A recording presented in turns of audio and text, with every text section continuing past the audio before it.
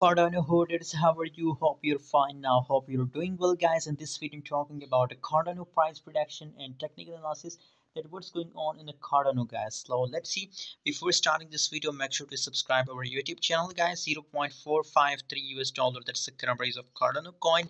Other side, if you talk about the changes, so 2.27% negative changes occur in the Cardano. 0.4671 is the currently highest price of Cardano coin in last 24 hours. Absolutely in the last week cardano xrp are going and moving very well guys. So i'm very happy to see this moment. After a long time i see uh, a lot of volatility in a cardano and xrp coin guys. So by the way uh yes uh, in last 24 hour as it break this uh, support line guys. So in this case you can see the market is still dumping gas. So also wait for this confirmation if it make a breakout with this line. So in this case i recommend that only open the position and a cardano after that guys uh, it will pump guys i'm sure it will pump after this breakout guys. But if it can't make a breakout so obviously that's mean that the market of cardano coin is still in a downtrend guys so just wait for the confirmation and after that take an entry.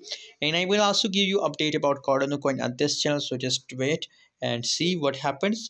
And if you want to join my telegram group so join now my telegram group. The link is available in the video description